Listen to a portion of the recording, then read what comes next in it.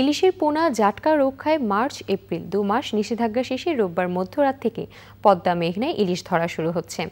ইলিশ সম্পদ রক্ষায় পয়লা মার্চ থেকে ত্রিশে এপ্রিল পর্যন্ত চাঁদপুর জেলা মতলবের ষাটনল থেকে লক্ষ্মীপুরের চর, আলেকজান্ডার পর্যন্ত একশো কিলোমিটার এলাকায় জাটকা সহ সব ধরনের মাছ ধরা নিষিদ্ধ করেছিল সরকার।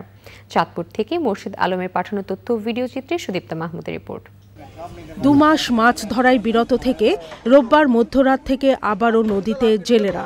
ট্রলার নৌকা ও জাল মেরামত করে প্রস্তুতি সম্পন্ন করেছেন তারা। আমরা অভিযান মানছি।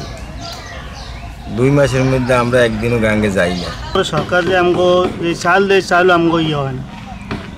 আমাকে সহায়তা করলে আমলে ভালো হইতো? জাটকা রক্ষায় দুমাস অভয়াশ্রমের মৌসুমে নদীতে অভিযান চালিয়ে চার কোটি মিটার কারেন্ট জাল ও সাড়ে পাঁচ হাজার কেজি ইলিশের পোনাসহ পঁচানব্বইটি নৌকা জব্দ করেছে জেলা নৌ পুলিশ।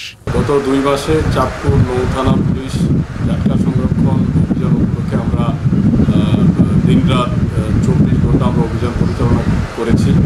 আমাদের আমরা প্রায় চারশোর অধিক জেলেকে গ্রেপ্তারপূর্বক বিজ্ঞ আদালতে সম্পৃক্ত করেছি এবং তাদের বিরুদ্ধে উনচল্লিশটি নিয়মিত মামলা আমরা দায়ের করেছি। এখন তো বর্তমানে তো মোবাইলেই অনেক মোবাইলেই অনেক তথ্য পাচার মানে পাসিং হয়। এখন আমাদের যখন আমরা নামে একটা টিম নিয়ে সেখানে সম্মিলিতভাবে নামতে হয়। সেখানে কোস্টগার্ড থাকে, নৌ পুলিশ থাকে, জেলা ম্যাজিস্ট্রেট কিংবা উপজেলার ম্যাজিস্ট্রেট থাকে, আমাদের মৎস্য বিভাগের লোকজন থাকে।